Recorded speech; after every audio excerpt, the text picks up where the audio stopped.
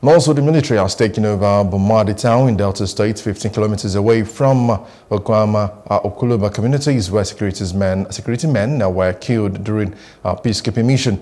Now, the residents are now living in fear, where with fierce uh, looking security men patrolling the town and its neighboring villages. Residents and journalists are barred from accessing Okuama and Okoloba uh, communities, and the residents uh, express regret for the soldiers' killing.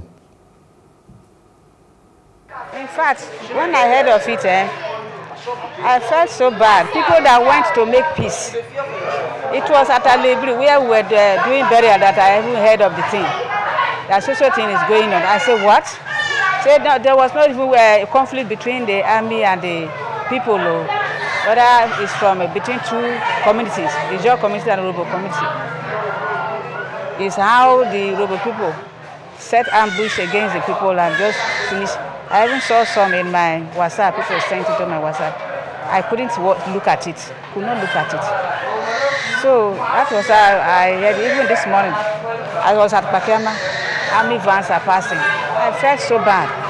People with uh, their family coming to do make peace, peace in the environment. You set ambush and kill those people for just for nothing. So I'm hungry. I'm not happy. You are feeling the tension actually. You know, if the, a place is militarized, definitely you must feel the impact. That's we are appealing to the government to at least be peaceful with us because we are not directly involved. You understand? So uh, it's expected, uh, but this place they have made this place their base. Eh?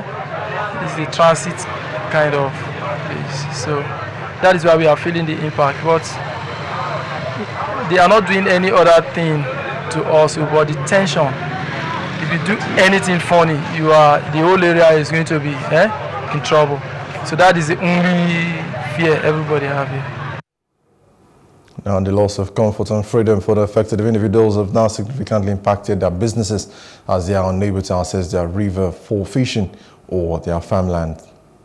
The community, now peaceful community, oh, but based on say die matter all of us would fear but now wetin we dey pray for now abeg the place where the crisis dey na inside river no be for here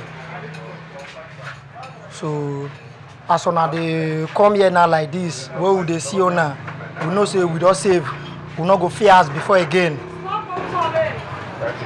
Yeah. Embassy, Amatarasian.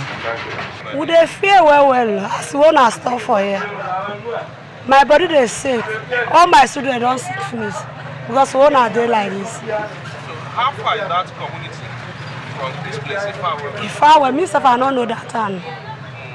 So since that thing happen now, when they say how around there, how how are they? So I no go reach that place, I no but how many people around all this Bomandi here? We dey fear well well. Hello. Hope you enjoyed the news. Please do subscribe to our YouTube channel and don't forget to hit the notification button so you get notified about fresh news updates.